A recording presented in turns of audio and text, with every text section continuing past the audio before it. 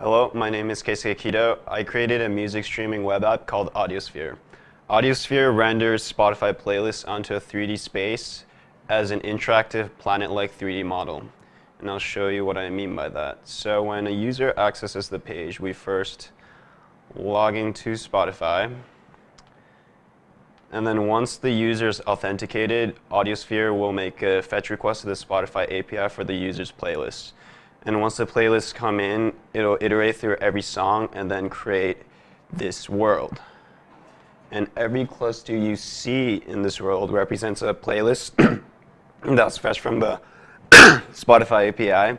And every song making up these clusters represent a song within that playlist and every song holds a playback URL, audio URL of the song that represents, and a click handler that will position the object to the center of its cluster and play back the audio URL.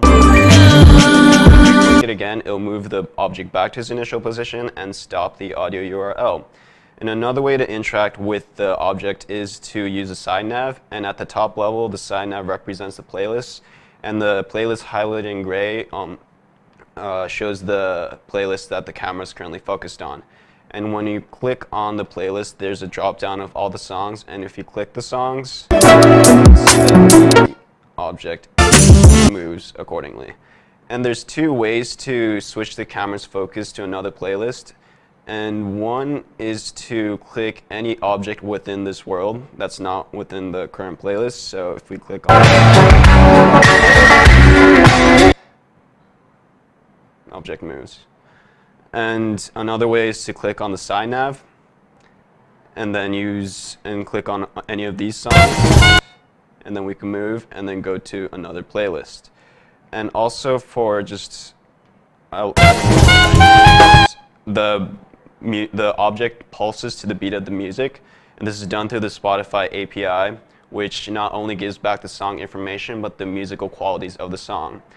And what I like the most about this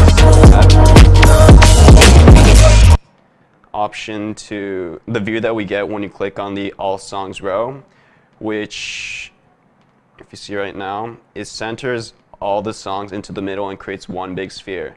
And just like the playlist, we could click on any of these and play any of the songs. click on this, and you can even click from the side.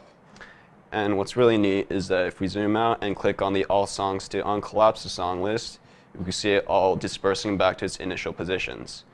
And you can play around like this.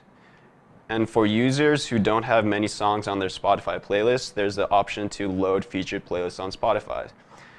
And it takes a minute to load, but now these are all the Spotify playlists. And just like our previous view, we could interact it in the same way and we could collapse it and center all the songs and just enjoy the view. Well, that's Audiosphere. Thank you for listening. My name is Keisuke Kido. Thank you.